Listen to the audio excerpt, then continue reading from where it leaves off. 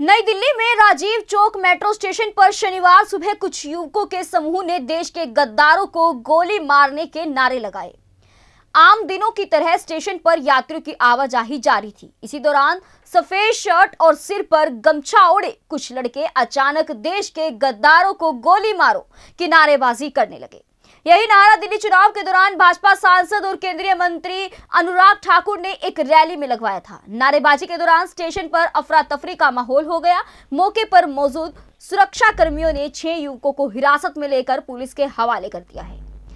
सभी से पूछताछ चल रही है। मेट्रो स्टेशन पर हुई नारेबाजी का वीडियो वायरल हो रहा है। Delhi metro rail corporation limited ने बताया कि घटना सुबह दस बावन की है। स्टेशन पर किसी भी तरह का प्रदर्शन प्रतिबंधित है।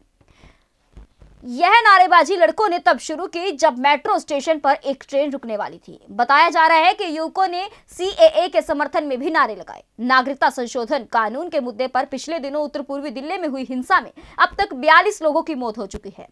कांग्रेस नेताओं ने अनुराग ठाकुर के नारों को हिंसा के लिए जिम्मेदार बताया है।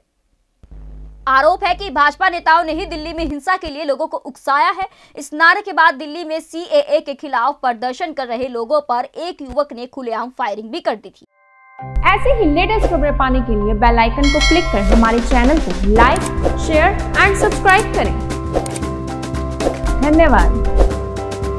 JBD Banquets लाए हैं। Incredible marriage palace Rajgharana and the finest banquet hall Jyoti Garden. World class catering, centrally air conditioned, lush green lawns, state of the art lighting. A perfect venue for wedding, launching and parties. Rajgharana and Jyoti Garden at JBD Banquets Enterprise.